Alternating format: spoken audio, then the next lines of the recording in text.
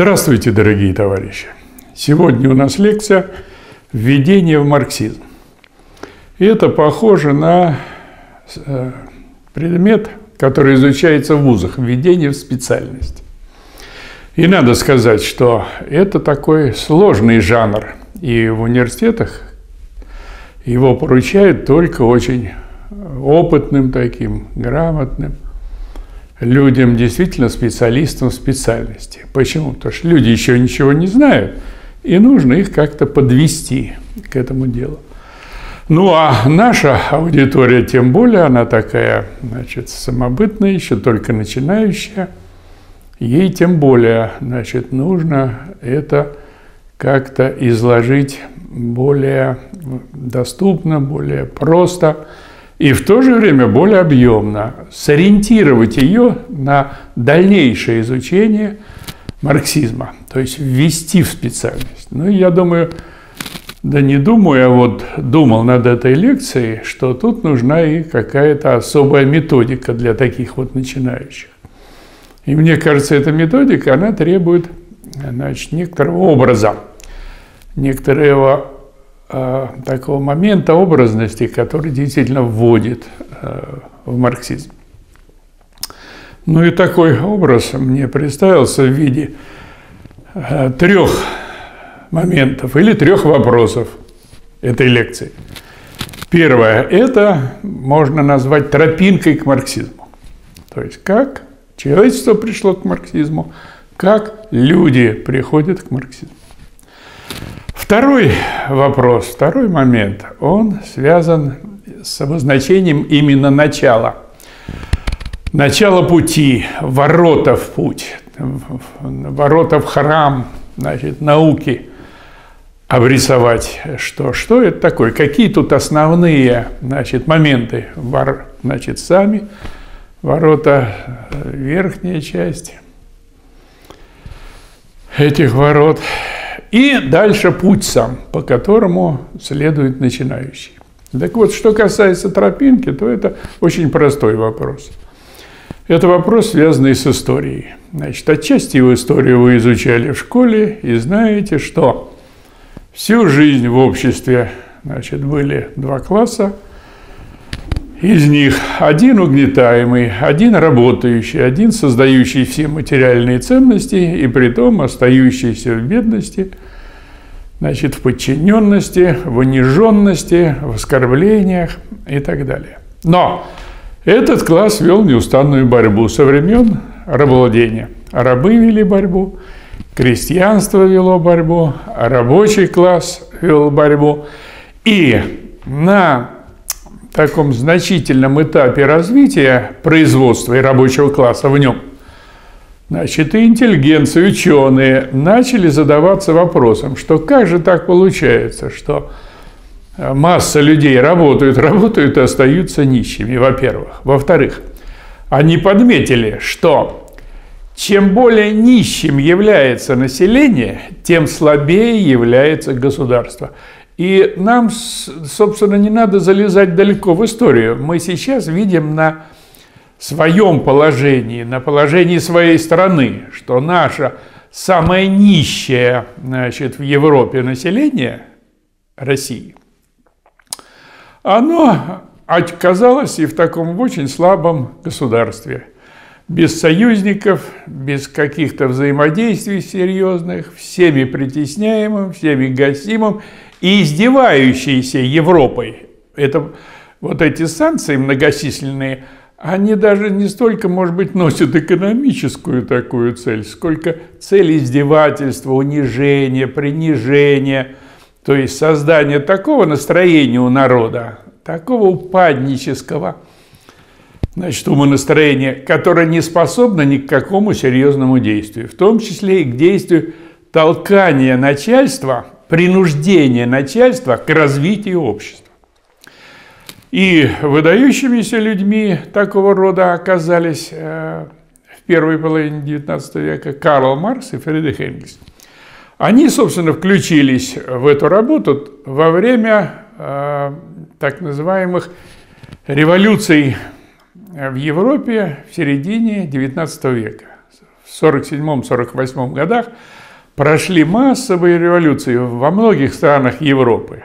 И Маркс и Энгельс обратились, значит, борцы, прежде всего немецкие борцы под руководством э, Вейтлинга, что, мол, составьте нам программу, вот что нам делать рабочему классу, как нам преобразовать э, себя, свое общество и вообще жизнь в целом, чтобы жизнь была более справедливой, честной, красивой, ну и так далее.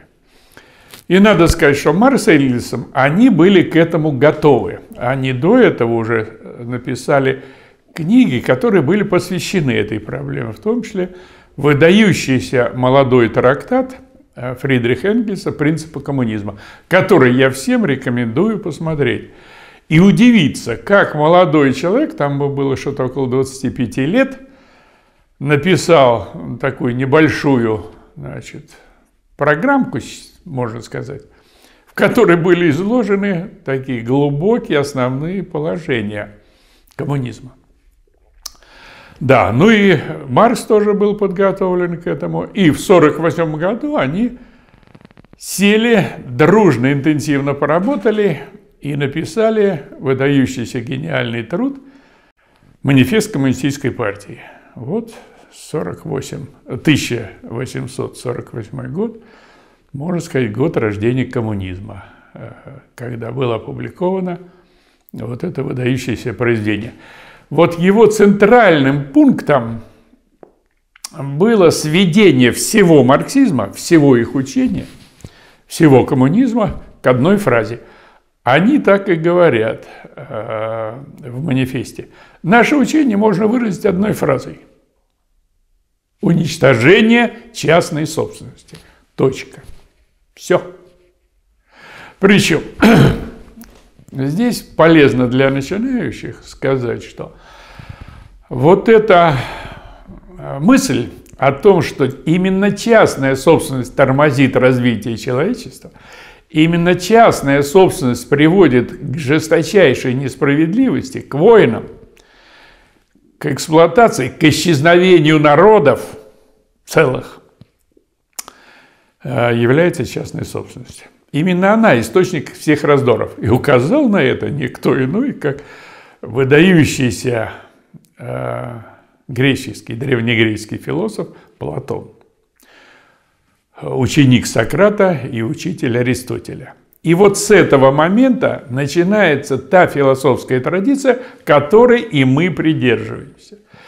И если вы потом эту традицию узнаете, вы будете понимать, что вот все другое, все, что противоречит Сократу, значит, Аристотелю, Платону, оно, это другая традиция. Это традиция субъективизма, традиция самомнения, традиция такого извращенного внимания к своей сущности, к своей, перс, к своей персоне.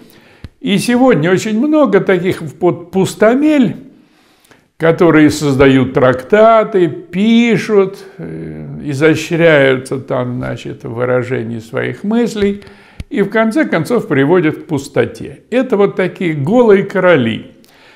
Скажем, примером такого голого идейного короля можно считать э, философ. Ну, что-то выскочило из головы.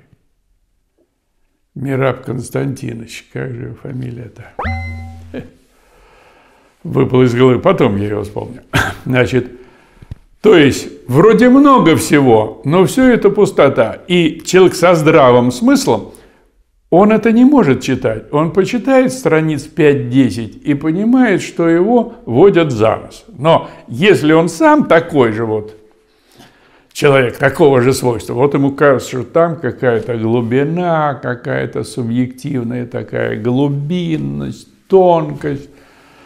На самом деле это пустота и пустота. Это вот паук плетет свою пуст... такую нить. Да, значит, наша традиция, она идет от Аристотеля, Сократа, Платона, приводит Гегелю, к немецкой классической философии – И у них учатся, учатся Маркс и Энгельс. Причем Гегеля они изучают довольно основательно.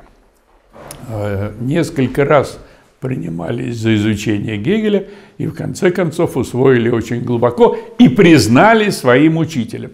Вот важно, что в этой традиции последовательные, они признают открыто, публично признают своих учителей. Наши учителя вот это. Да, ну и сейчас, когда человек начинает интересоваться жизнью, экономикой, политикой, ищет истину в этих вопросах, он также неизбежно приходит значит, и постановке вопросов и к ответам, которые дали Маркс и Энгельс еще в середине значит, XIX века. Поэтому вот эта тропка, она, собственно говоря, и есть введение, э, приведение к марксизму. То есть вот так люди приходят к марксизму. И что является такими воротами, что является основными такими ориентирами при изучении марксизма? Основными, основными ориентирами являются такая, является такая ориентация на науку, на научность. И в этом смысле надо знать, что такое наука. И не просто знаю, я знаю, что такое наука, а это должно быть познано.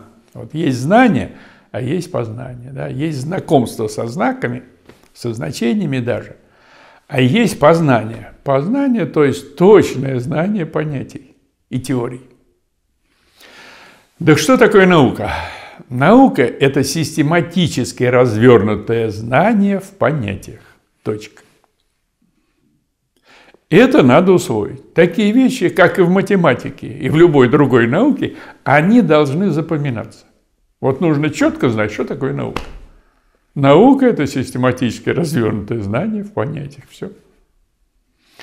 И вот эта мысль, вот выраженная в понятии, она сразу задает ориентиры, или, можно сказать, вот столбы ворот. То два здесь основных значит, понятия. Во-первых, само понятие, да? Понятие понятия. И во-вторых, система – то есть знание системным должно быть. Видите, наука – знание систематически развернутое в понятиях. Соответственно, здесь существует рефлексия, взаимоотражение понятия, понятия понятия и науки. Значит, если наука есть развернутое понятие, стало быть, понятие есть свернутая наука. Почувствуй разницу. Но наука, главная ее форма – это теория. Поэтому еще более жестко сформулировать мысль эту можно так, что теория – это систематически развернутое, систематически развернутое понятие. Тогда понятие – это свернутая теория. И это должно быть ясно. Да? Раз Теория – это развернутое понятие, значит, понятие – это свернутая теория. С одной стороны, вроде, понятие – это слово, скажем, понятие стоимости. Да? Ну, стоимость и стоимость. Все равно на, в магазине спросить, сколько стоит или какая цена. И мы не замечаем здесь никаких понятий. Мы здесь живем в естественном языке. Но уже в естественном языке понятие, то есть опыт человечества, связанный с этими предметами, он уже выражен в этом понятии. И это понятие с опытом, оно обрастает содержанием. И наша задача – вот это содержание, которое человечество уже вложило в это понятие, в этот термин, в это слово.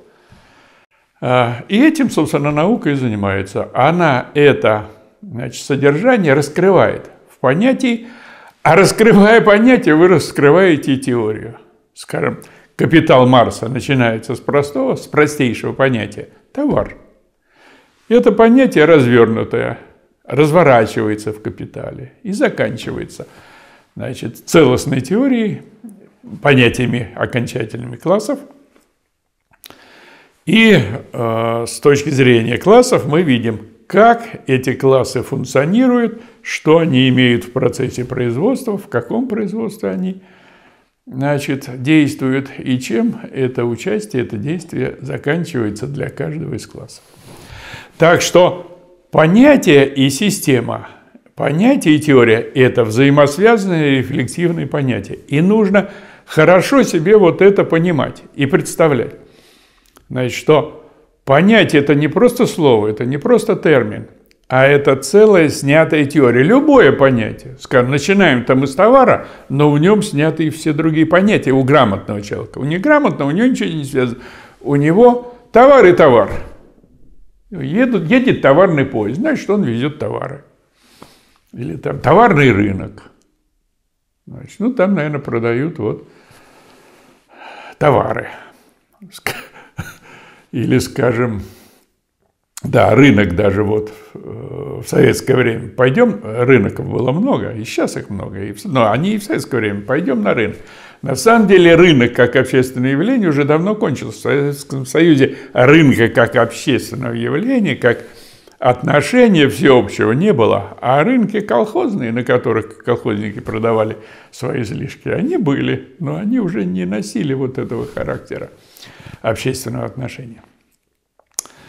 Значит, но начинается всякое понятие, а стало быть и теория, да, с определения. Поэтому, значит, определение понятий, их нужно тоже знать. Если вы хотите развертывать что-то, да, вы должны это выразить в мысли, то есть в определении. Значит, стоимость. Что такое стоимость? Спросите окружающих. Я думаю, что окружающих и вам ничего не скажут. Даже такая вещь, как зарплата, вот я уже перестал удивляться некоторое время, но лет, наверное, 10-15, может быть, больше, удивлялся, что люди не знают, что такое зарплата. А зарплата – это цена рабочей силы. Вроде бы каждого человека это касается. Это же твоя зарплата, поинтересуйся. Не знает. Зарплата – это вот деньги, которые выдают в кассе. Так деньги-то выдают в кассе, но что такое зарплата? И как она связана со стоимостью? Это существенный вопрос. Чтобы бороться за свою зарплату, надо знать, что такое зарплата и как она соотносится со стоимостью. Так что, значит, э, понятие – это вот такой столб, на котором базируется все мышление. И надо сказать, что практически нигде, ни в какой стране, никакая сила, никакие теоретики вот против понятия и его роли в науке не выступают. Все, в общем, согласны, да, понятие. Но понятия разные. И определения понятия разные. Скажем, одно дело у нас в марксизме определение понятия, а другое дело, скажем, у кого-то другого, каких-то других концепциях. Но систематически развернутая, то есть система – и система здесь уже второй столб. Да? Система. С системой более сложно. Почему? Потому что, с одной стороны, э, понятие системы, оно известно со времен Древней Греции, значит, с Аристотеля, с других философов. И все признают систему. С другой стороны, в середине 20 века вдруг как зараза пошла, значит, вот нужен системный подход, нужны системы, все системно, значит, мышление должно системно, как будто свалились с Луны, как будто для них, до них, значит, никто системно не мыслил и не понимал, что все системно, и мышление поэтому тоже системно. Вот. И надо сказать, что теперь понятно, что вот этим, э, как бы, преувеличением системы и системности боролись с тем э, представлением и пониманием системы, которое было традиционным э, со времен Аристотеля. Дело не в системе, не в системности самой по себе, а в истинности системы. Конечно, системно. Всякие здравомыслящие люди, вообще люди мыслят системно. Другое дело, что сама и системность в них более-менее ограничена. У одного это более такой правильный глубокий подход к системе, у других менее глубокий. Вот. У математиков, скажем, э, вообще мышление системно, они систем всяких формальных наготовили уже миллионы, а может миллиарды. Но дело не в этом, а дело в истинности. А истинность, она опять-таки связана с понятием. Поэтому э, истинной системой на сегодняшний, не на сегодняшний день, а со времен Гегеля является диалектическая система. Система диалектических понятий – система диалектических понятий, развернутая значит, в понятийном мышлении, которой и пользовались и сам Гегель, и Маркс с Энгельсом, и Ленин, и все здравомыслящие люди до сих пор пользуются. И настолько, они, настолько, насколько они эффективно пользуются, настолько эффективны их дела. И опыт нашего руководства СССР, он показывает, что вот таких людей грамотно пользующихся вот этим диалектическим системным мышлением, их практически в, в управляющей сфере не осталось. Скажем, конечно, э, Никита Сергеевич Хрущев, там он когда-то закончил курсы, даже поучился в, э, в Комакадемии, Э, не спеша так наряду со своей основной работой, а там работы было во, ворох строительства социализма в Московской области, потом на Украине, ему не до учебы было, поэтому у него как накопился опыт из революционных разговоров там 17-20-х годов, так и остался, поэтому теоретик он никакой. Э, кстати, потом это и Маленков признал, что вот теоретики мы никакие по сравнению со Сталиным даже.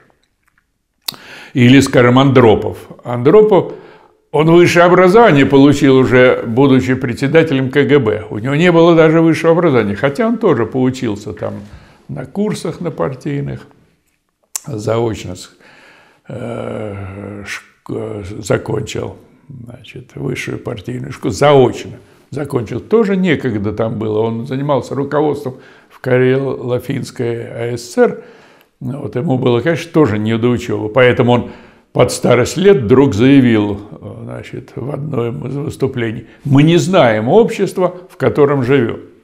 Это уже в 70-х годах. Э, в 70, да, в 70-х еще годах, в конце 70-х годов. Так мил человек, руководишь страной и не знаешь общества, в которым ты руководишь. Но, но это было может быть, с одной стороны, честно, а с другой стороны, может быть, он нас вводил в заблуждение. Хотел сказать, что вы ничего не знаете, не понимаете не суйтесь, а мы будем тут развивать рыночные отношения и реформы. Я думаю, что еще вот такой здесь был смысл оттенок.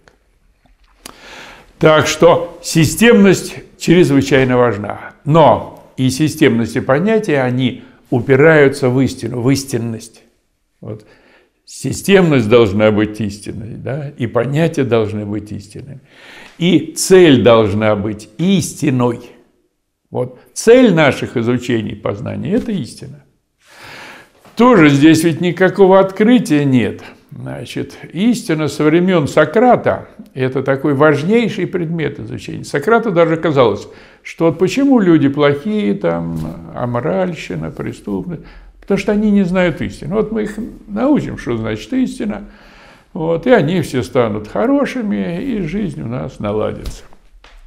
Это, конечно, заблуждение, э, что касается этической стороны дела. А что касается истины, то Сократ первый, кто стал пользоваться определенными понятиями.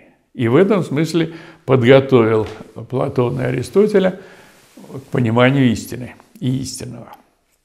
Но Аристотель сформулировал понятие истины, хотя у него получилось несколько таким ограниченным образом. По видимости, это как раз общий образ.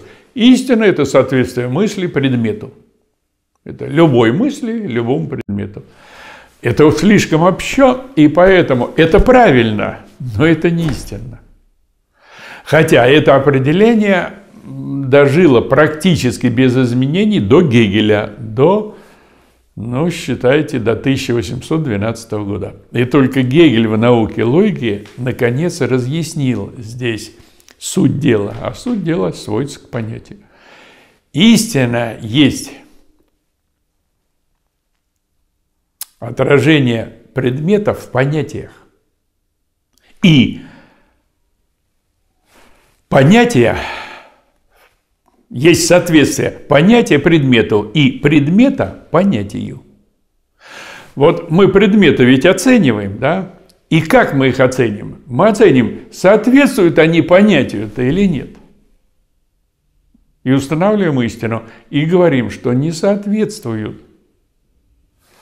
Скажем, соответствует Конституция, которая была значит, до вот недавнего обновления, понятию Конституции. И и я много раз, и Михаил Васильевич Попов много раз объясняли, что она не соответствует понятию Конституции. Она не то чтобы не была принята, она даже не выставлялась на референдум. По видимости, вот вроде мы ее обсуждали, вроде она выставлялась. На самом деле она не выставлялась, она подсунута была в 93 году. И задача значит, Путина вот сейчас в этом обсуждении обновлении Конституции, она заключалась не столько в самих, может быть, там этих обновлениях, сколько в ее легитимации, то есть, чтобы народ проголосовал действительно вот за обсужденную Конституцию. И теперь вроде она соответствует своему понятию. И так во всем. Соответствует этот человек понятию человека. Кстати, Этим вопросом еще во времена Платона задался Диоген. Знаете вы, наверное, философ из бочки. Диоген как-то идет по Афинам днем с факелом, подходит к людям, значит, тычет перед ними факел, разглядывает. Что ты хочешь, Диоген? Да вот ищу человека. То есть прошел там пол Афин, человека не нашел. Понятно, что есть разница, зазор да, между явлением человека, единичным человеком, и человеком в собственном смысле слова, в смысле понятия человека, в смысле достойный человек. Да, человек должен быть достойным самого себя. Да, вот этот зазор есть. И э, Гегель и научил нас, что не просто мысль соответствует э, предмету, а Поня... Истина – это понятие, соответствующее предмету. И предмет, и соответствие предмета понятию мы устанавливаем, соответствует значит, э, этот предмет своему понятию. Не соответствует. И мы сегодня видим, что вообще мало что соответствует. Скажем, нынешнее масло. Масло, приготавливаемое наполовину из из этого, из пальмового масла. То есть это наполовину маргарин, да еще из пальмового масла. Это подделка, а не масло. Или там масса других продуктов. Скажем, это вот э, в 90-х годах, там, скажем, спиртные напитки, водка. Сплошные подделки, она не водка. И говорят, паленая водка. Паленая водка, значит, не водка. Значит, одежда всякого рода сейчас вся синтетическая. Она тоже, в общем-то, не соответствует понятию человеческой одежды. Богатые люди в синтетических штуковинах не ходят или ходят для виду, скажем, там Путин ходит, конечно, иногда в курточках таких. Вот. Но богатые люди ходят в естественных материалах. Да?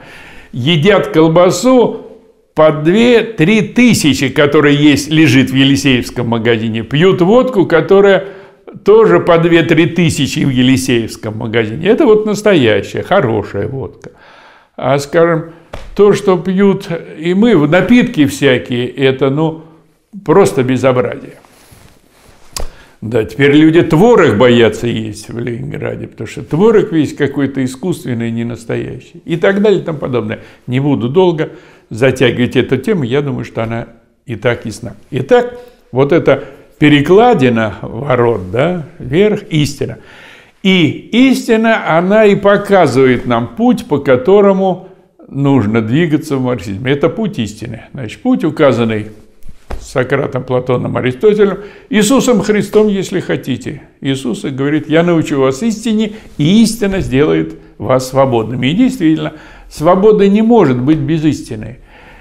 Человек не может быть свободным, не зная истины, не может освободить себя, не зная истины, не может освободить себя, не зная истины о зарплате, о профсоюзах, там, о, о партиях, о классах, о каких-то других делах. Он будет значит, темным, незрелым человеком, которого будут обманывать. И сейчас вот это вот колоссальный обман, он, собственно, и висит в нашем обществе.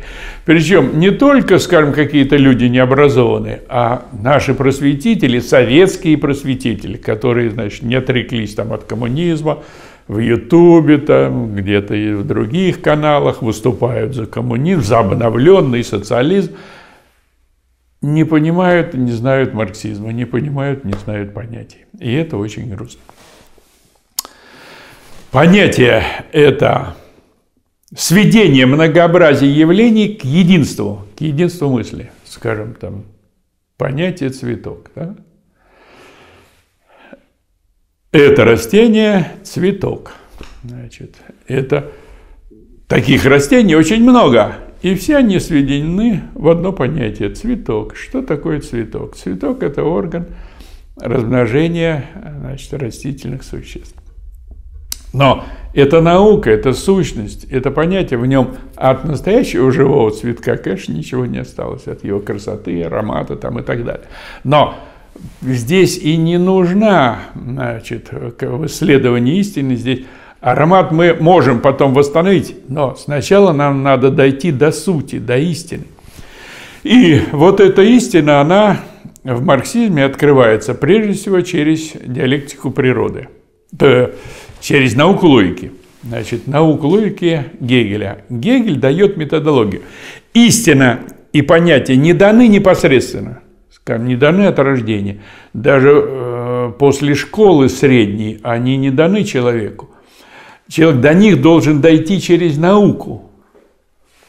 Значит, поэтому э, для этого нужно изучение. И вот это изучение человечества, оно пришло к науке логики Гегеля, и мы теперь доходим э, до истины через опосредствование наукой логики, то есть изучаем науку логики, чтобы научиться грамотно оперировать понятиями, грамотно использовать, использовать понятия.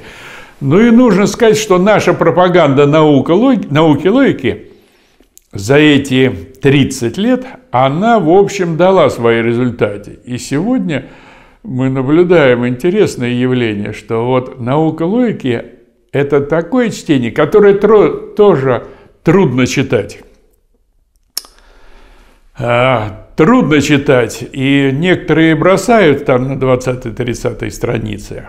Но это все-таки наука. Наука всякая трудна, скажем, если возьмете, возьметесь изучать математическую логику, какой-нибудь учебник Фихтенгольца, да, то тоже почитайте там сам 5-10 страниц и бросьте почему-то, что это трудно. Но если вы хотите достичь истины, Эту трудность надо преодолевать, значит, считать два раза, три раза, советоваться с представителями этой науки, советоваться с учеными, советоваться с товарищами. И, наконец, вы разберетесь, поймете, будете двигаться.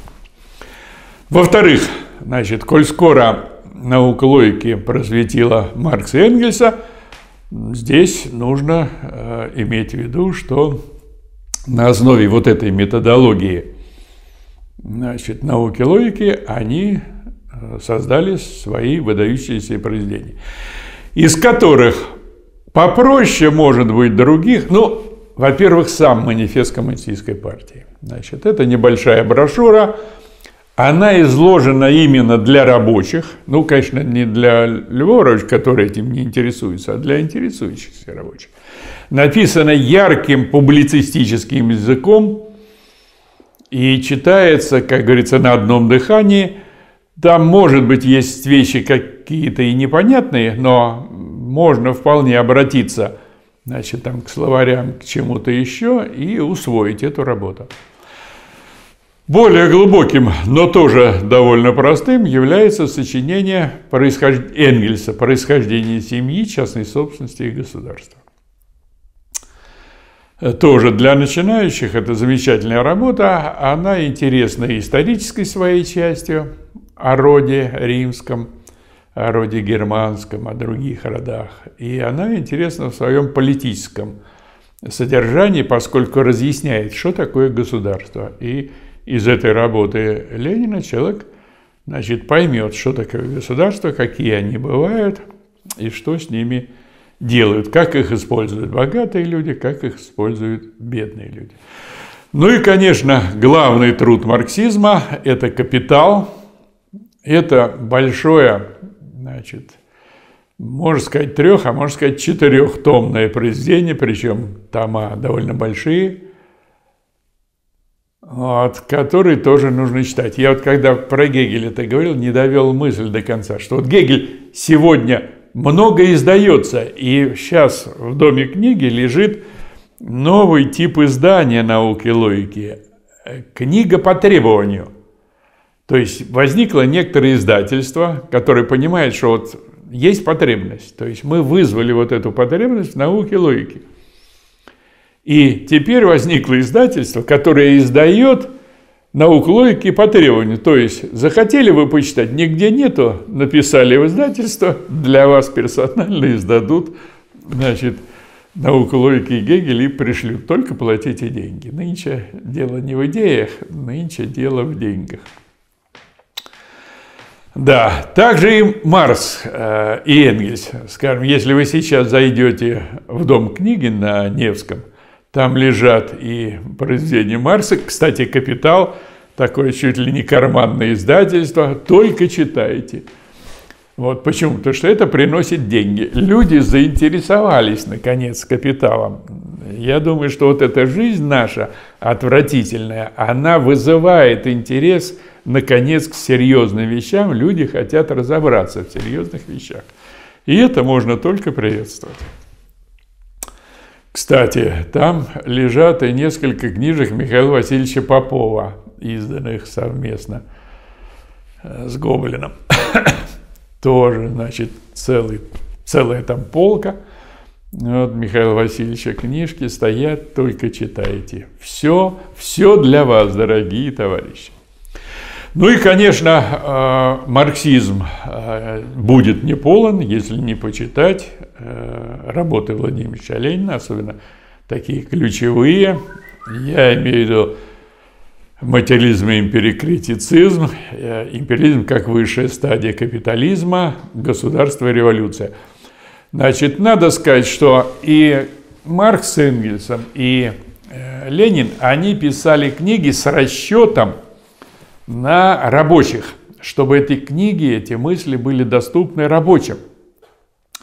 Поэтому э, нынешний и рабочий, и интеллигент – которые, ну, не чужды истины, не чужды стремления к истинному, они это вполне способны прочитать, в значительной степени усвоить. Ну, а если, значит, есть э, какие-то сложности, то для этого есть нынче много разных форм значит, изучения марксизма, в том числе наш Красный университет. В красном изучении мы довольно подробно изучаем э, марксизм в целом и значит, его отдельные произведения. Поэтому милости просим, что называется. Ну и, наконец, э, я думаю, что надо сказать о том, что вот сам, само понятие марксизм, да, оно оказалось довольно таким многоплановым, разносмысловым. многоразлично используемым.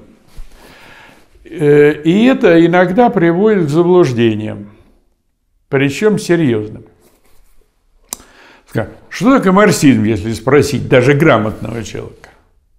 Вот, вам дадут самые разнообразные определения. Теперь, если обратиться, э, скажем, даже к Ленину, Ленин характеризует марксизм. Марксизм – это теория – Кое-где он говорит. Марксистская теория. Или учение, иногда он говорит. Учение марксизма верно и так далее. Или он говорит в плане статьи «Марксизм» э, Карл Маркс и учение его, биография, биографический очерк и учение, значит, доктрина. Марксизм – это доктрина – вот. Я уж не говорю о том, что сам Энгельс иногда говорит о миро... иногда говорил о мировоззрении, о миропонимании. Или Ленин говорит о миропонимании, о миросозерцании Маркса. Вот он пишет в статьях по маркси... «Три источника и три составных части марксизма» миросозерцание. Значит, спрашивается, о чем в каждом конкретном единичном случае идет речь. И я думаю, скажем, вот если задуматься, просто задуматься на эту тему, то теория не подходит. Почему? Скажем, экономическая теория э, Ленин употребляет, значит, экономическая теория марксизма, у нее там раздел в статье Карл Маркс, раздел «Экономическая теория марксизма». Да, конечно, капитал – это экономическая теория марксизма. Но, значит, Кроме капитала у нас и другие есть экономические э, учения.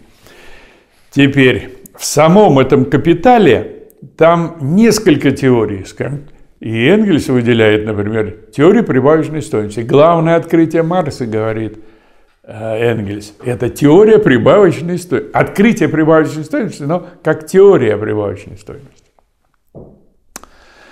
Поэтому вот э, можно говорить не о прибавочной стоимости, как значит, не теории, а можно говорить об учении, об экономическом учении марксизма, которое включает несколько теорий и о прибавочной стоимости, и о классах, и о рентах разного рода, и о рабочем дне, и о стоимости, и о рабочем труде, и о труде производителям и так далее и тому подобное.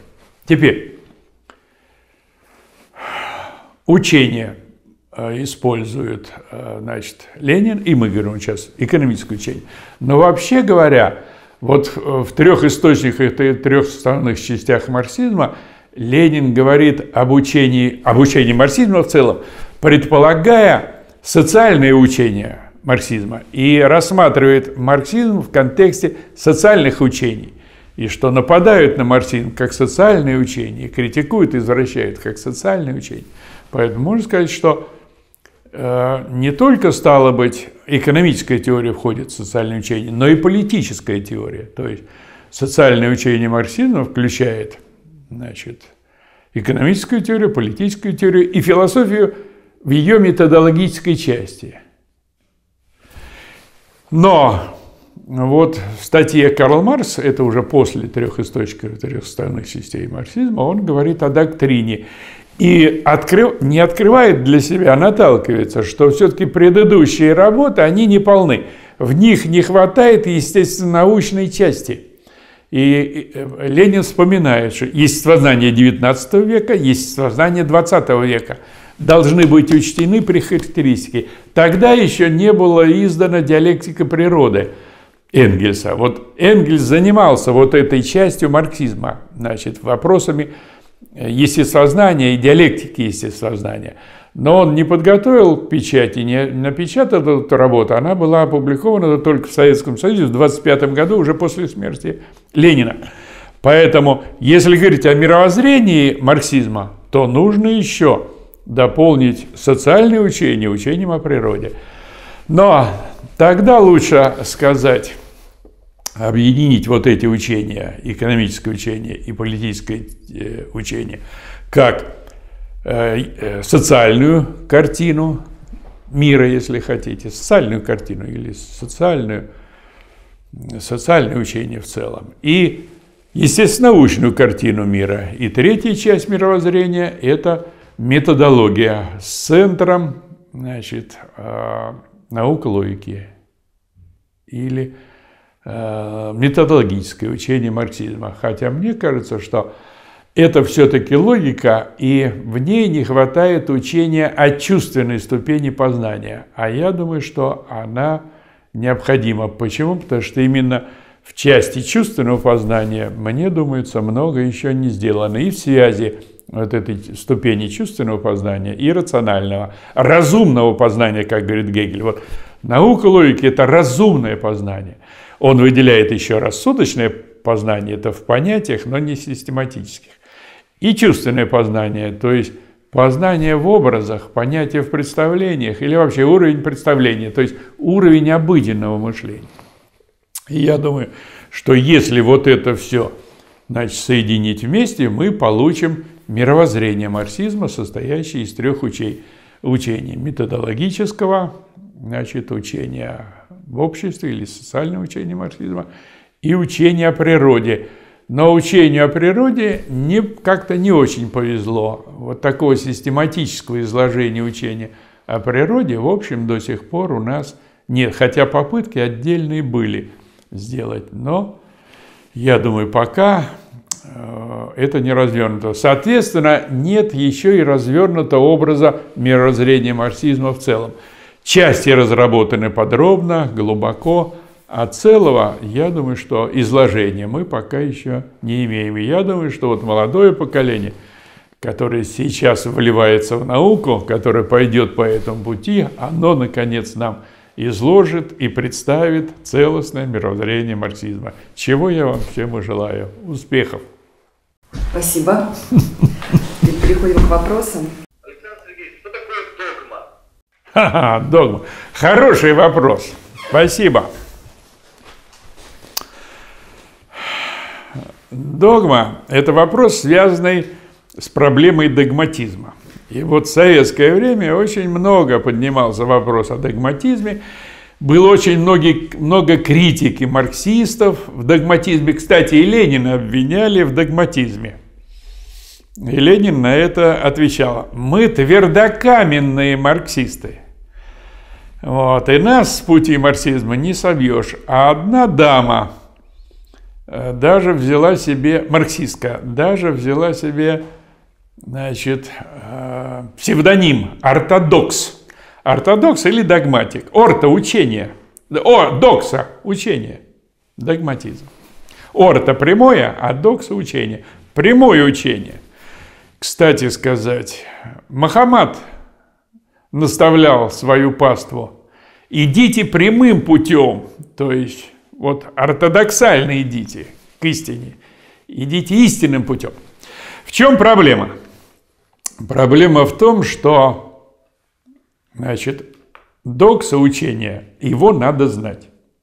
То есть, если вы не знаете учения, вы, вы никто, собственно говоря, и даже не догматик, да?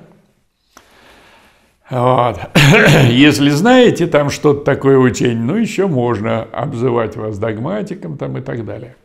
Или, скажем, православные. Кто такие православные? Православные – это правильно славят Господа, да? То есть правильно догму исполняет, правильно следует догме. И без знания догмы, без правильного следования э, ей, э, речь ни о чем. Другое дело, что и Ленин, и Сталин, и значит, некоторые вот критики справедливо – указывали на догматизм тех или иных товарищей. В чем дело? Дело в том, что догматизм – это омертвление формы мысли. Форма мысли. Мысль сама, она не мертвеет. Она или истина, или не истина. А форма ее выражения, представления, применения, они, конечно, мертвевают со временем. Жизнь уже изменилась, форма изменилась, а товарищи все продолжают ею, ей следовать. И тогда они становятся догматиками. Поэтому тут противоречие. С одной стороны, нужно быть догматиком в том смысле, что следовать догме. Ваше право, следуйте любой догме, хоть православной, хоть там, значит, этой вот коранической, марксистской, если вы уж выбрали марксистскую.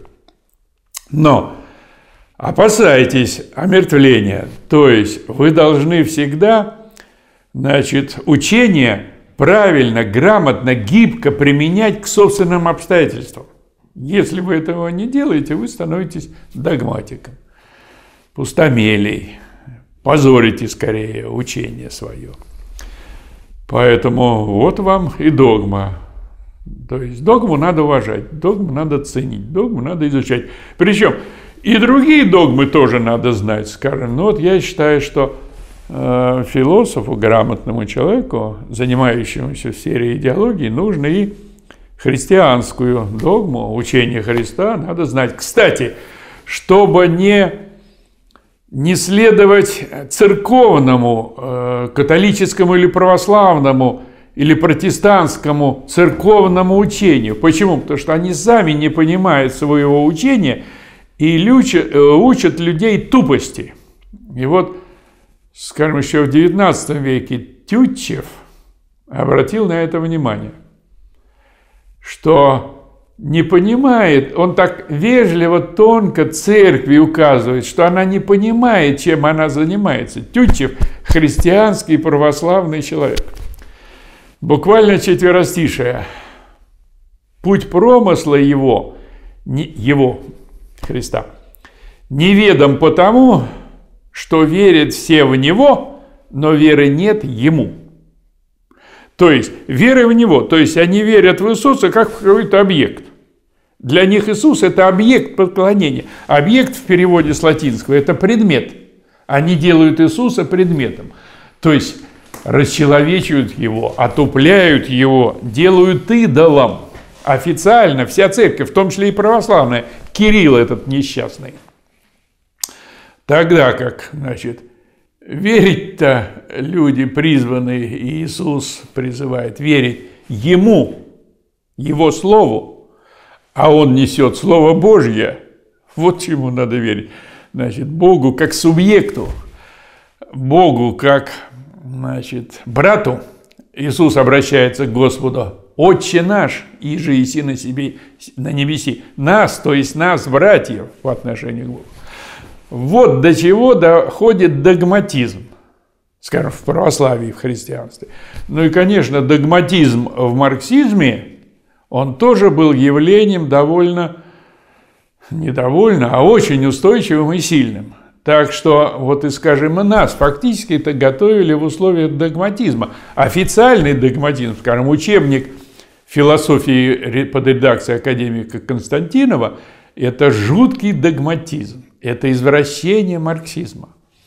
И это был переворот, совершенный значит, в идеологии в 1900 61-м, 60-м, может быть, 62-м году, когда нам преподавали вот этот догматический, тупой марксизм. И, конечно, многие люди, особенно студенты, от него отвращались. И, в общем, их можно только посочувствовать. Так что учите догму, изучайте догму, будьте последовательным учеником, пропагандистом и развивателем, если у вас есть возможности. Но не будьте догматиками, конечно. Скажите, пожалуйста, а в формулировке марксизм – это единственное современное цельное научное мировоззрение. Где место образному постижению мира? Или эта формулировка не совсем правильная? Нет, нет. Образное постижение, оно, э, так сказать, основное. Человек познает, люди познают, да, все в образах, начиная с детского возраста и кончая старости. Мы же все познаем чувственностью, зрением, ушами, там, другими органами чувств, превращаем предметы, э, явления, процессы внешнего мира в некоторые образы. И только усилие, да, усилие образовательное преобразует вот эту массу многообразия чувственного опыта в понятие – Усилия. Это вот нужно изучать. Тогда мы переходим к понятиям. Где место поэзии, кинематографии, вот, вот в этом вот научном мировоззрении? Да, вот это хорошее уточнение. Спасибо. Да. Значит, э, искусство – это вообще образная форма познания. То есть искусство, оно и познает тоже мир. Мир один, его больше нечего познавать в мире, кроме мира. Но вот в образной форме оно ищет прекрасные пропорции и в каких-то предметах, в том числе житейских, эти пропорции воплощает в жизнь. Или, как говорил Лейбниц, наоборот, значит, что, в чем стоит деятельность скульптора? Деятельность скульптора состоит в создании идеи. Он берет глыбу мрамора, отсекает лишнее и оставляет только идею. Значит, то есть знанием, содержанием знания все равно является понятие, но оно представлено в образной форме. В образе, там, скажем, Моисея, вот у него есть такая скульптура Моисея, или образа день, день, ночь, там вечер, утро представлены. Я уж не говорю об образах всевозможных, там Иисуса, Девы Марии, там младенца на руках Девы Марии и так далее. То есть всевозможные эмоциональные состояния и отношения к человеку. Ну, конечно, когда видишь такую вот девушку с младенцем на руках ну, вызывает массу эмоций, переживаний, какая вот славная девушка, какое нежное отношение. Как это чувственное познание мира соотнести с научным постижением мира? В каких они пропорциях? Значит, еще на первый я не ответил, не доответил. Значит, это вот искусство, сфера чувственного познания. Теперь, есть промежуточная сфера между чувственным и научным в понятиях. Значит, это как раз религия. Вот религия, она уже когда-то начала этот путь понятийного познания, то есть строгого выделения значит, определений, законов и соотношений в жизни людей. И в этом смысле, скажем, что такое религия? Религия – это осознание и понимание всеобщей связи между людьми по преимуществу в чувственной форме. То есть вот эту связь они уже осознали, скажем, не убей, не убей. Почему? Потому что ты убьешь, и тебя убьют. Мало того, тебя убьют, потом это потянется, братьев твоих начнут убивать, сестер там, и так далее и тому подобное. Или не укради. Украдешь, во-первых, тебя накажут, если поймают. Во-вторых, у тебя тоже будут красть. Ну и так далее и тому подобное. То есть мысли о всеобщей связи между людьми в религии уже были, они уже долгое время осознавались. Но и в христианстве, конечно, есть развернутые даже сейчас социальные учения православной церкви целое есть. Да? Это уже понятие. Там извращенные, они какие-то неполные, еще какие-то, но они понятия. Но вот такая смесь неявная, и значит, там, ну, больше обмана, чем истины или какого-то содержания. Я уж не говорю о том, что каждый молебен там это вот бо смертью смерть поправ, смертью смерть поправ, там долдонит этот вот по перед паствой. Глупость эту. Никто никуда не поправ. Смерть вплетена в жизнь, и жизнь ее преодолевает и побеждает. Возрождение жизни каждый да, раз. Да, да, жизнь побеждает. Да, жизнь побеждает. Жизнь и так побеждает. В целом она побеждает. В целом, а не в одном человеке. Да, значит, вот это посредствующая ступень. Но она так все-таки для образованного человека, она более-менее уходит. Поэтому, чем развитие ребенок, чем вот более широко он освоил вот эту сферу искусства, сферу чувственности, музыки, там поэзии, живописи, скульптуры, тем он развитие, тем больше у него содержания для последующего э, представления в понятиях этой сферы и для углубления в эту сферу. И, конечно, ребенок получается более развитым, разносторонним, значит, интересующимся, углубляющимся и так далее, и так далее. Но это не, не остается только в детстве, скажем, но и взрослые люди. Мы тоже свою чувственность культивируем. Ходим смотреть выставки, значит, в экскурсии, в музеи. Это все чувственное познание. Причем вот в 21 веке техника уже дошла до того, через средства массовой информации, через съемки, видеосвязи – что мы теперь видим, что там делается на Луне, что там делается на Марсе, что там в глубинах океана. Мы познаем мир чувственно. И, значит, потом мы это все перерабатываем в понятия. То есть и в мировоззрении какие-то вещи, значит, у нас остаются. Наше мировоззрение развивается э, за счет вот этой познания вот этой чувственной большой богатой сферы. Скажем, и я вот до сих пор люблю посмотреть значит, про Африку, там, про ее животных, про ее жизнь. Да я думаю, это и все любят на животных-то посмотреть. Я смотрю про наш парк э, да, в да. Крыму, парк э, Львов. Во, да, да, да, конечно, ну, удовольствие сходить, как, как они там живут. Отношения у них тоже в прайдах, там Да. интересные, с людьми отношения интересные. Да. Так что чувственная сфера, она никуда не пропадает, она все время с нами, мы все время познаем. И все начинается, всякое познание нового предмета с. Встречаемся мы с человеком, встречают падежки, да, и падежки, и по лицу, по выражению человека. Значит, мы сразу определяем, какой это человек, хороший или плохой. Наш человек или не наш, подходит он нам или не подходит, будет у меня с ним контакт э, такой дружеский или не будет. Я уж не говорю о том, что этот опыт перерабатывается в вежливость, в принципы вежливости. Скажем, захожу я в купе, и сразу я отношусь добром тем людям, которые находятся. Да? Я к ним благожелателен, значит, вежлив, так, чтобы пока мы едем, тут наша жизнь была богата, чтобы мы обогащали друг друга знаниями, информацией какой-то. До тех пор, если они чего-нибудь там не сделали нехорошего, я вижу, что вот что-то человек неправильно поступает. Тогда и так далее. Спасибо. Следующий вопрос. Так я понимаю, что вот, а, отличаются ли методы борьбы сто лет назад, наши методы борьбы сейчас? Да, конечно, отличаются, хотя в основе, в основании они остаются теми же самыми. Главные это методы борьбы остаются теми же самыми. Другое дело, что, может быть, средства борьбы стали более разнообразными, вот, более такими эффективными, доходящими, средства связи стали более оперативными. Теперь контроля стало больше сверху, скажем. Раньше там можно было просто провести какие-то куда-то предметы. Вот сейчас я думаю, что ничего никуда не провезешь, все под контролем, все на видеозаписи.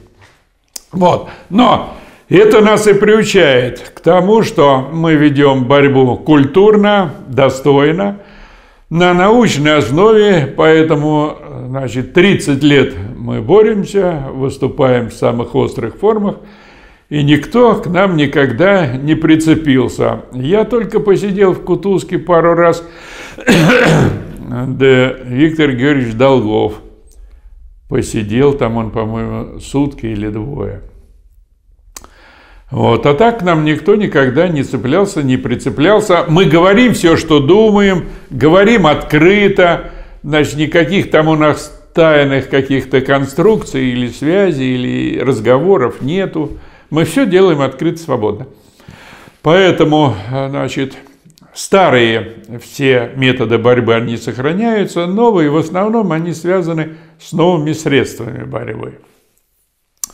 И, конечно, нынче, чтобы быть на уровне борьбы, нужно овладеть всеми вот этими э, мерами. Интернетом, IT-технологиями, значит, вообще техникой, быть технически вооруженными и самим, и людям показывать, научить, как тут действовать. И я думаю, что в целом мы эту задачу выполняем. И я думаю, и будем выполнять. Еще есть вопрос один. Скажите, пожалуйста, вот правильно ли я понимаю, что каждый современный ученый, если он честен сам с собой, то он должен быть марксистом, так как марксизм – это современное научное мировоззрение, то вне классового подхода ученый не совсем честен сам с собой, и получается, что он может запутаться как в собственной теории, так и в преподнесении обществу.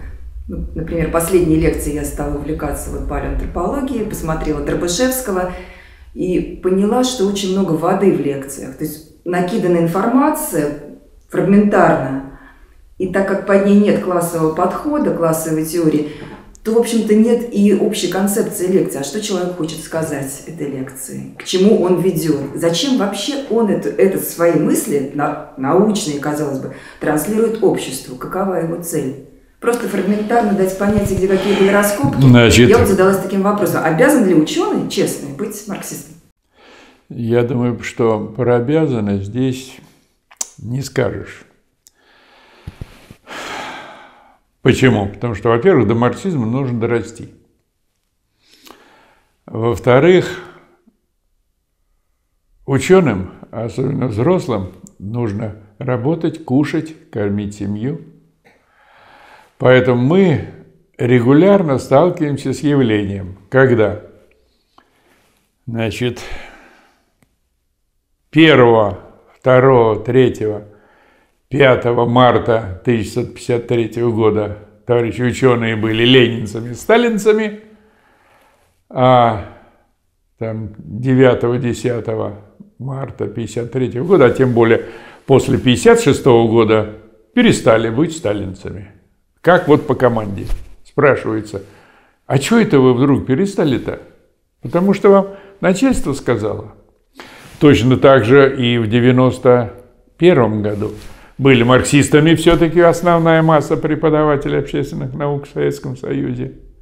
Как только значит, Горбачев озвучил предательство, куда-то и подевались марксисты. Ау, где вы, марксисты?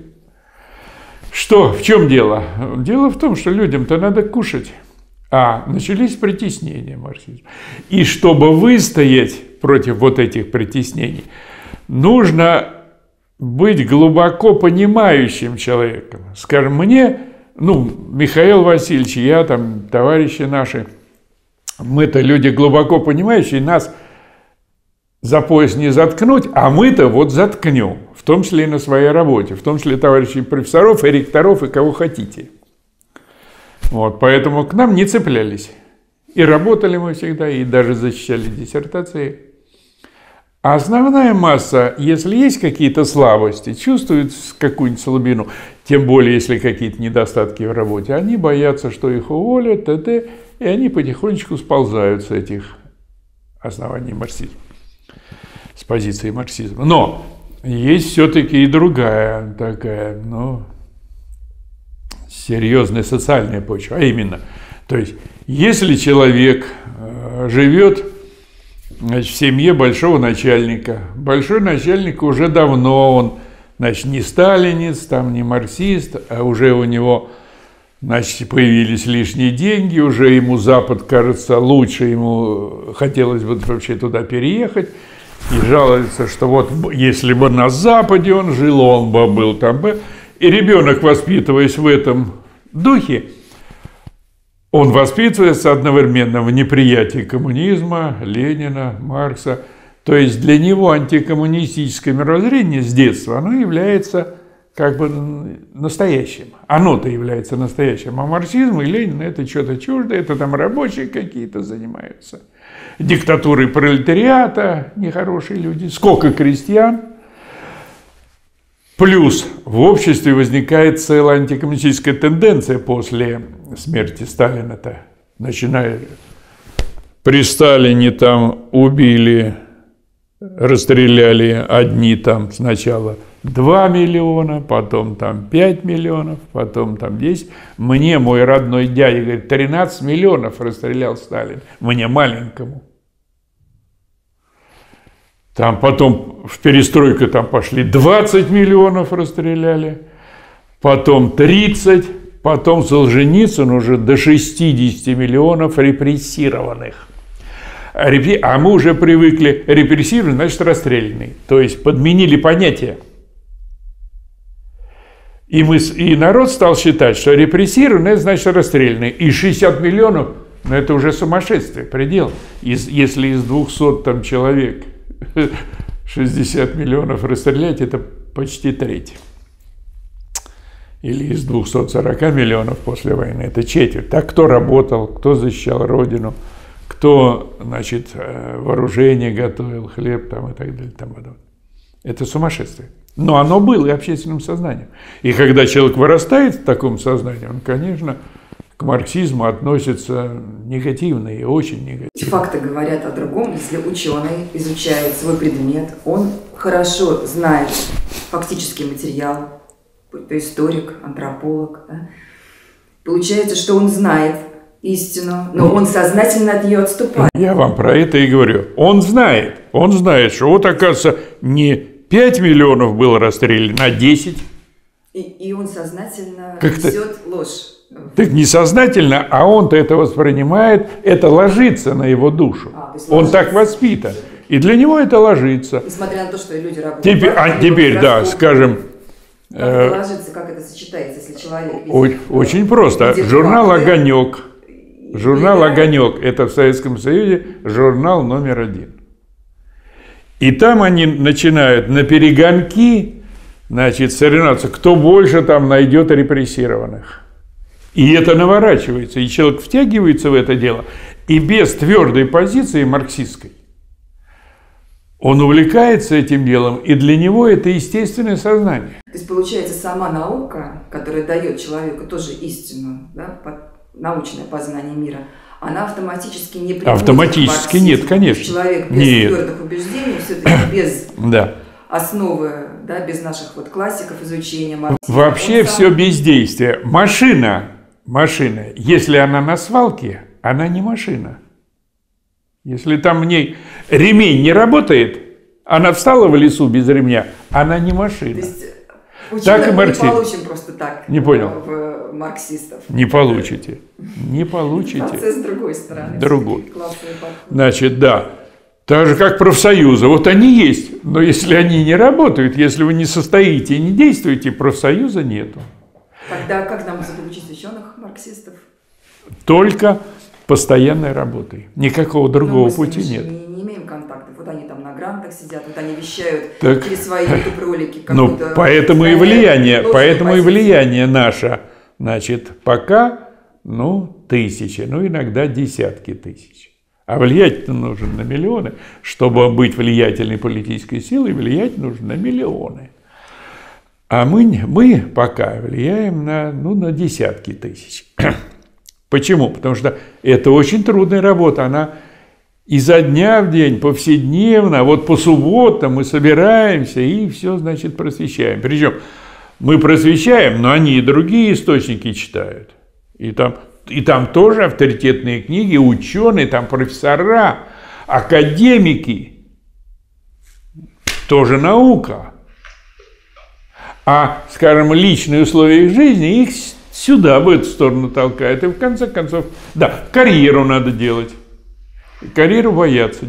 Меня зовут Владислав, и я, я хотел бы спросить, э, ну, может быть, я как-то прослушал или, не знаю, в общем, мне показалось, что вы мало уделили э, внимания тому, что марксизм основывается на материальности, на том, что все материально, и то, что сам труд, он заключается в том, что ты создаешь какие-то материальные вещи. Вот. Это мой первый вопрос. Второй вопрос. А, почему все упирается в революцию? И почему нельзя э, сменить э, ну, или власть, или строй без революции? Почему и почему всегда вот идет кровопролитие. И третий мой вопрос, э, это тоже из второго вытекает. Почему э, революция начинается только тогда, когда вот, ну, прям дышать невозможно, когда все уже понимают, что другого пути не будет. Спасибо за ответ. Ну, так третьим вопросом вы ответили на второй вопрос. Вот революция происходит потому, что вот дышать уже становится невозможно. А дышать становится невозможно в нашей жизни, потому что мы подвергаемся двойной эксплуатации. С одной стороны, своими так называемыми русскими буржуями, а с другой стороны, американскими. Почему? Потому что вся наша экономика находится под контролем Соединенных Штатов Америки, и активами руководят американцы и европейцы. Не активами, а половиной, а может быть сейчас уже, наверное, и больше, процентами 60-70 руководят из-за рубежа. Поэтому у нас двойной гнет своих негодяев, да еще западных. И поэтому зарплаты наши очень низкие, и народ находится на грани выживания. Поэтому другого пути, как революция, он не видит и не увидит. Об этом говорит история нашей страны и всех вообще стран в мире. Поэтому революции – и контрреволюции, и реакционные перевороты все время совершались, совершаются и будут совершаться, пока общество не придет значит, к мировой, мировому союзу советских республик под руководством рабочего класса их стран. Почему нельзя так, как хочет Платошкин, новый социализм, выборами прийти к власти и улучшить. Спицын тоже, мне кажется, придерживается такой же позиции, хотя он историк и достаточно грамотный. Потому что идея прийти к власти через выборами, она уже себя вполне проявила и показала, что это невозможно. Впервые так поставил, поставили вопрос товарищи из социал-демократической партии Германии в конце XIX века и обратились к Энгельсу значит, за разъяснением своей программы.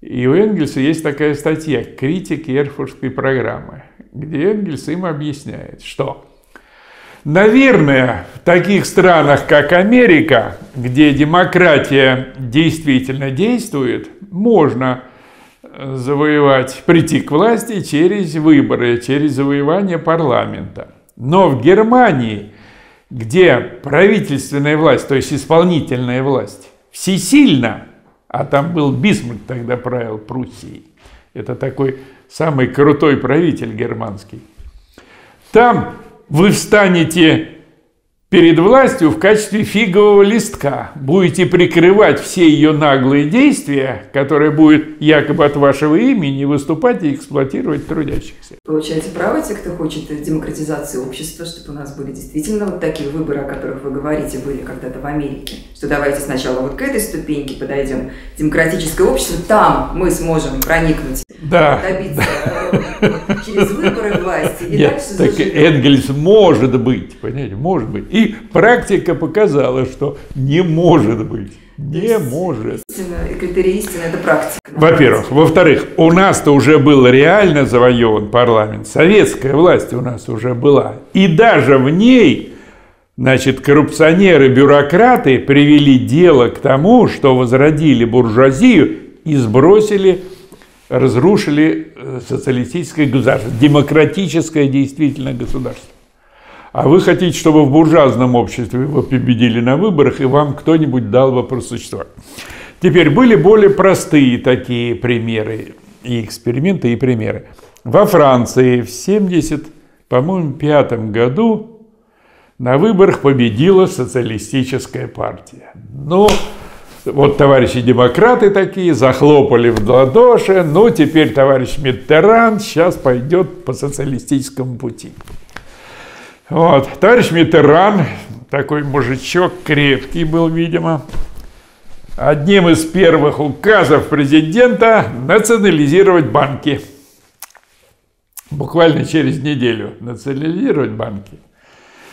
Ну, приняли закон, банкиры почесали, почесали репу, потом, видимо, так созвонились, вот, закрыли свои банки и уехали в Лозанну отдыхать. Вот, отдыхает день, отдыхают другой, операции не идут. Значит, тогда зачесал репу этот самый Митеран.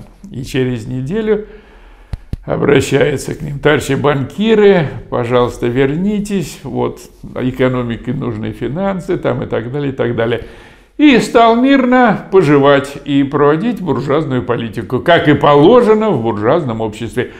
Проправил так 7 лет, и благодарные буржуи избрали его еще на 7 лет. Он еще 7 лет проправил, потом от стыда попросил похоронить его в родной деревне. Вот его похоронили в родной деревне, и сейчас он там спит спокойно. Так что нет этого пути, это обман трудящихся. Ну, я бы хотела просто добавить к вопросу Всеволода. Он сказал, что это обязательно кровавый путь. Я бы не согласилась с тем, что это всегда кровавый путь. Как раз через систему двоевластия, через систему советов создается достаточно бескровный путь. Э, Нет, прихода к власти. значит, рабочий класс заинтересован в бескровном, ненасильственном завоевании власти. Но Значит, готовым нужно быть обязательно к тому, что буржуазия будет сопротивляться и не равен час откроет белый террор, как она открыла в 18 году. Как раз вся вот эта крова, кровавость идет от того, что... Она связана с сопротивлением. Да, да. Сопротивление буржуазии. Сопротивление. Более того, ведь и Марс, и Энгельс, и э, наша партия предполагали, что от буржуазии можно откупиться. То есть и мы им отдадим деньги за их заводы, не сразу, правда, со временем, и идите с Богом, едьте там во Францию свою и живите в Лозанне или в Ницце в свое удовольствие. Но они не захотели этого. И опыт показывает, что везде они, как правило, не хотят. И это было и в Венгрии, это было в Германии, и во всех других странах, если было так. Поэтому, конечно, рабочие заинтересованы в мирном течении революции, в мирном отъеме власти. Но это отъем, это переворот. И с ним не все согласны. Найдутся какие-нибудь идиоты, которые значит, этим, этим будут сопротивляться с оружием в руках.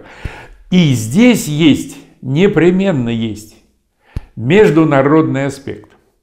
Причем, вот нынче международный аспект очень силен, мы его видим и на Украине, и в Белоруссии, и в Армении сейчас.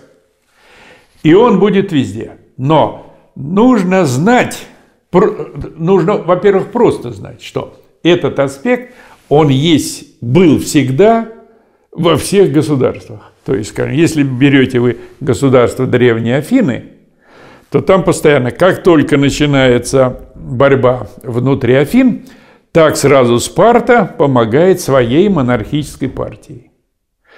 Как только демократы что-нибудь начинают, демократы других государств помогают своей демократической партии. Так было в 17-м, так было в английской революции, так было во французской революции, так было значит, в нашей революции 17 -го года – и во всех революциях вот этот международный аспект есть. Почему? Потому что буржуазия, она опирается на свой класс в других странах. Именно поэтому, да, чем крупнее государство, тем успешнее революция там может пройти за счет масштаба государства. Какой-нибудь маленькой Беларусь. Да, какую-нибудь э, маленькую, там, конечно, с ней справиться проще, да. А Россия – это не такая страна, с которой просто справиться. Даже если 14 вот государств объединились, у них все равно не хватает потенциала. Почему? Потому что когда, скажем, вот эти 14 стран выступили против э, новой СССР, там рабочий класс этих стран, в свою очередь, выступил против буржуазии. Там начались забастовки в поддержку. Значит, теперь забастовки против грузов отправля... военных, отправляемых в Россию и так далее. То есть рабочий класс других стран поддержал русский рабочий класс. Поэтому это такая многосторонняя. И сейчас пугает. Вот, надо держаться за Путина, а то там Америка. Америка, она свое получит, если, значит, пойдет, пойдет разговор. Я уж не говорю о том, что у них свои проблемы сейчас. Значит, поэтому э, международную эту сторону, ее надо иметь в виду, к ней надо быть готовым, но каких-то радикальных вещей она тоже не сделает. Почему? Потому что там есть трудящиеся, которые нам помогут или будут помогать. Товарищи, еще вопросы есть? Ну, про материализм. А, про материализм, да, был первый-то про материализм. Конечно, да, материализм – это основание э, нашей методологии, и это уже конкретный вопрос. Скажем, если вот мировоззрение стоит из трех частей, и начинаем мы рассматривать эту методологическую часть, там, конечно, поднимается вопрос о материализме, об основе, о материалистической основе познания, о материальном основании процесса и познания и общества. Поэтому это такой конкретный вопрос, который в дальнейшем он будет изучаться. А вот для сегодняшней лекции он тут, так сказать, э, слишком конкретный. Хорошо, что вы его подняли. Вот вы, мы его немножко, кстати, вспомнили. Спасибо. Здравствуйте, Александр Сергеевич. Сегодня годовщина Черного Октября. Участвовали ли вы в этих событиях? И почему контрреволюция победила? Да, мы участвовали в этих событиях. Ну и много было форм участия. Вот. В том числе собирались наши товарищи, обсуждали этот вопрос, значит, оценили как э, такой фашистский контрпереворот. Почему? Потому что это был открытый террор, открытая террористическая диктатура буржуазии с применением оружия, том числе оружия такого, как танки, массового, грозного оружия. В центре Москвы это был самый настоящий террор. И, конечно, значительную часть населения напугало это. Но не нас, конечно. Поэтому мы организовали, во-первых, значит, послали людей туда, и многие товарищи ездили в Москву, участвовали, значит, в действиях.